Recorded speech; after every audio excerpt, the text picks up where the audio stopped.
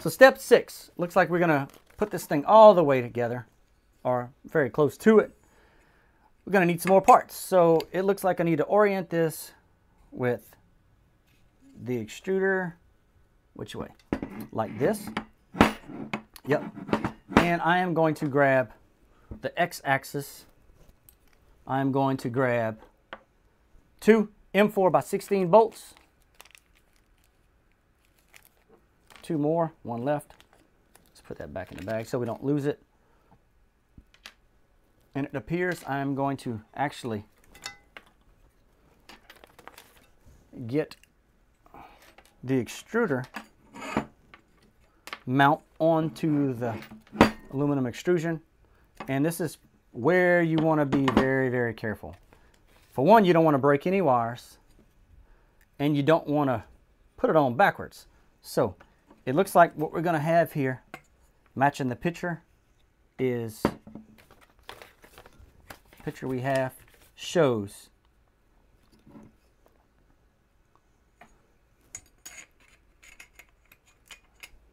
I'm having the extruder face up with the Z to the right with the part we put on facing to the left as I'm looking at it. I'm going to take the extruder mount with the rollers, roll it this way, and then that should set just set it down, put it on there. Looks like there is something I can do here. What is that? Looks like I need to, is that a belt? Yep. I see. That's really cool. So it looks like we're going to put the other axis. How's this going to go? Let's see. Mounts like this. Yep. So the two M4 by 16 bolts, as I put on this other mounting bracket, is going to go line up with the holes on this side. Pretty simple, pretty straightforward. Let's see, we're going to start one kind of make sure we have it before we get the other one in. Let's see.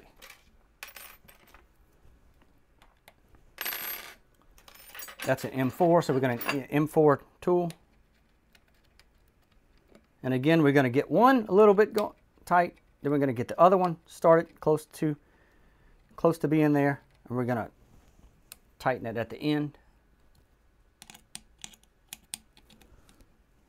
So to understand which way this extruder was supposed to go, in the instructions they're showing you, if you look on the bottom, there's some slots. So this is actually the bottom where the nozzle is, should be pointing towards the bed.